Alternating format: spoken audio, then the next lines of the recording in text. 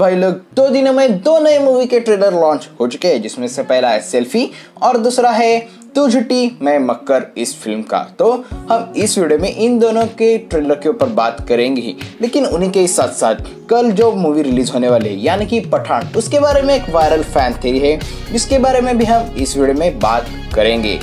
यानी कि of course वो थेरी मेरी नहीं है, वो इंटरनेट पे वायरल हो चुके हैं तो उसकी हम इस वीडियो में बात करेंगे। लेकिन वीडियो चालू करने से पहले हेलो एवरीवन मैं हूँ सर्वेश और आप देख रहे हो वाइल्ड वाइन एस टीवी है तो सबसे पहले अगर हम सेल्फी की बात करें तो इसमें हमें अक्षय कुमार के साथ साथ इमरान हाशमी भी नज़र आने वाले हैं। और ये एक ऑफिशियल हिंदी रिमेक है, एक तमिल मूवी का, जिसका नाम था ड्राइविंग लाइसेंस। खैर, इसका सिनोसिस काफ़ी हल्का फुल्का है। यानी कि इसमें एक फ़िल्म सुपरस्टार है और उसका एक तगड़ा फ़ैन है, जिसे बस उस सुपरस्टार से एक सेल्फी चाहिए। अब उसे वो सेल्फी मिलती है या नहीं मिलती ये हमें बात मूवी देखने के बाद ही पता चलेगी। लेकिन इसका ट्रेलर देखने के बाद ऐसा लगा कि शायद इन्होंने पूरी की पूरी मूवी यहाँ पे बताई नहीं दी यानी कि मूवी के कुछ ऐसे इंपॉर्टेंट प्लॉट्स और फिर इसके कैरेक्टर्स के आर्ट्स क्योंकि देखो ट्रेलर काफ़ी लंबा है और इसमें इन्होंने कैरेक्टर के आर्ट्स यानी कि वो कैसे होने वाले हैं और कहाँ से कहाँ जाने वाले हैं, ये सभी चीज़ें इन्होंने इस ट्रेलर में दिखाई दी है। यानी कि एक फ़ैन का अपने सुपरस्टार के लिए प्यार और फिर उसी फ़ैन का अपने सुपरस्टार के लिए बदला हुआ नेचर और इसके साथ साथ जो राइवलरी चालू होती है।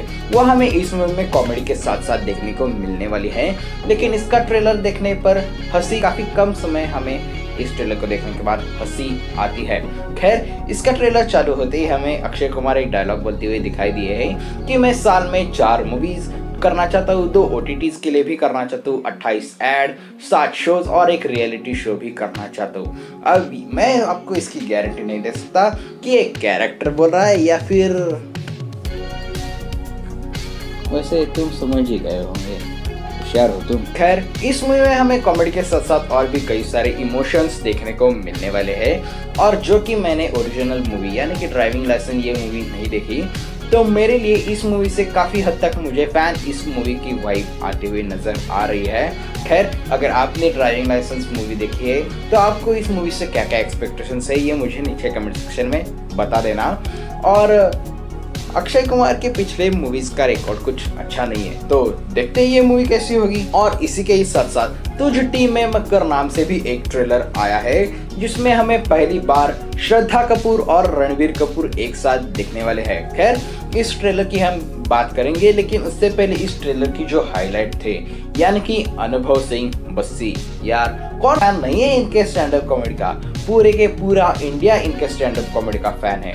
और उनको इस मूवी में देखना काफ़ी मज़ेदार होगा। खैर, अब अगर इसके ट्रेलर की बात करें तो ये एक रोमांटिक कॉमेडी फ़िल्म होने वाली है और इसको डायरेक्ट किया है लव रंजन ने। और अगर तुमने लव रंजन की पहली मूवीज़ देखी होगी, यानी कि प्यार का पंचनामा वन टू और सोनू के टीटू हाँ सोनू के टीटू की स्वीटी तो अगर आपने ये मूवीज़ देखी है तो आपको पता चला तो होगा कि लव रंजन ऐसी ही रोम कॉम वाली मूवीज़ बनाते हैं, जिससे आजकल का यूथ कनेक्ट कर पाता है। तो ये मूवी देखने में मज़ा तो आएगा। और इस मूवी में रणबीर कपूर भी अपने पुराने वाले अंदाज में, यानी कि वो अजब प्रेम की गजब कहानी वाले में जो उनका अंदाज था, यानी कि एक चॉकलेट बॉय के अंदाज में वो फिर से वापस आ रहे हैं। अगर इसके प्रेमाइसिस की बात करें तो इसमें हमें रणबीर कपूर एक प्ले बॉय का रोल करते हुए नज़र आ रहे हैं, जो कि फॉरेन में जाके श्रद्धा कपूर से मिलते हैं और वहाँ पर वो अपनी सेटिंग करने की कोशिश करते हैं, जिसमें वो सफल भी होते हैं। खैर, श्रद्धा कपूर भी हमें इसमें उतनी ही शातिर नज़र आती है, लेकिन वो दोनों भी रिलेशनशिप से बैकआउट नहीं करते और बात सीधे शादी तक आ जाती है। और फिर रणवीर कपूर को पता चलता है कि चीज़ें जितनी आसान दिखती है, उतनी आसान है नहीं।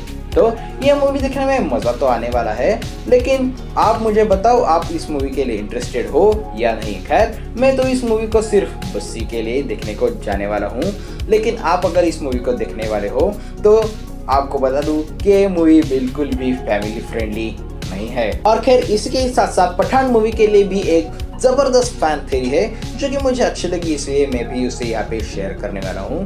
तो मूवी में ऐसा लगता है कि दीपिका पदुकोण शाहरुख खान को डबल क्रॉस कर देगी, क्योंकि ये सीन देखे तो ऐसा ही लगता है। खैर, अगर आपने पठान का टीजर बारीकी से देखा होगा तो आपको ये चीज़ सामने आई होगी कि पठान एग्जैक्टली दो बार कैप्चर किया गया है। इसमें से पहला सीन तो वो है, जिसमें से वो ओपनिंग सीन है जहाँ पे वो हेलीकॉप्टर लेके निकल जाता है।